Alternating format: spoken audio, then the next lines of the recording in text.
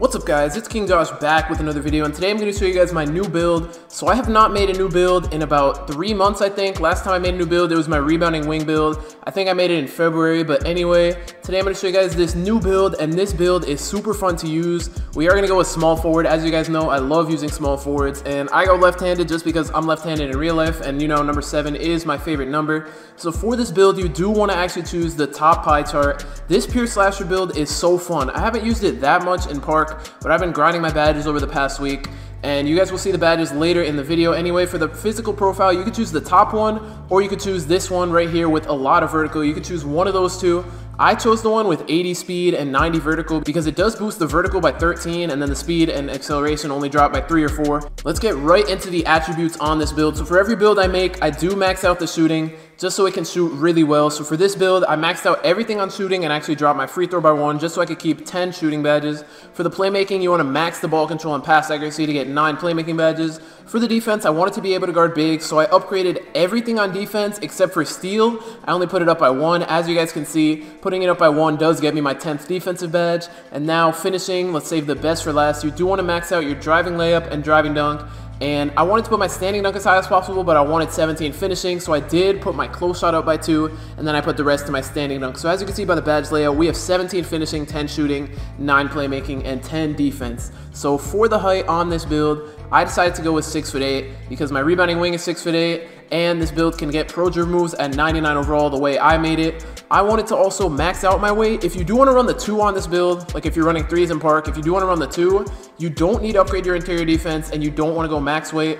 But I went max weight just so my interior defense goes as high as possible. And because this build, it can shoot, believe it or not, it has a 49.3, it can shoot, but I decided to go max wingspan just so I can get better dunks, I can play better defense, and then for the takeover, I was thinking about choosing Playmaker Takeover, but I ended up going with Slasher Takeover. I feel like that's the best for this build. But anyway, let's get right into the badges. I'm going to show you guys all the badges I have right now and the badges that I want on this build when I max the build out. Getting right into the badges, I do want Contact Finisher Hall of Fame 100%. That's the best finishing badge.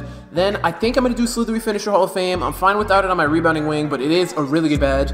Then I did Lob City Finisher Hall of Fame, believe it or not. I actually wanted to do that because I want to spam lobs on this build build. I made this build more so for fun, and then I put Fancy Footwork Bronze and Giant Slayer Bronze. I might change up my finishing badges, do a combination of Giant Slayer and Acrobat, something like that. But anyway, getting into the shooting badges. On my rebounding wing with 10 shooting badges, I use catch and shoot bronze, quick draw gold, range extender bronze, hot zone hunter gold, and volume shooter silver. I used to use corner specialist silver, and I think I'm actually going to use that for the slasher build. I'm really only going to be shooting from the corner, but believe it or not, this build can shoot, so I don't need range extender since I'm going to be shooting from the corner, and I'm either going to run catch and shoot gold and corner specialist bronze, or both of them silver. I'm just going to try out a different combination of that but these are the badges that I'm going to run for shooting. For the playmaking, I'm still not 100% sure, but I know for sure that I want Bailout Bronze and I want Quick First Step Gold. Those are the two for sure badges that I'm going to do. Then I also want to do Handles for Days, Gold. I might even drop it down to Silver to get Lob City Passer, and then Unpluckable is either going to be Gold or Silver. Those are the badges I'm going to change. I really don't know exactly how I'm going to do it, but it's going to be something like this. And now going on to the defensive badges, when I want to be at the two when I'm guarding guards, I want Clamps, Gold, Pogo Stick Silver, Intimidator Gold, and then the other two badges, probably Rim Protector and Chase Down Artist, I think.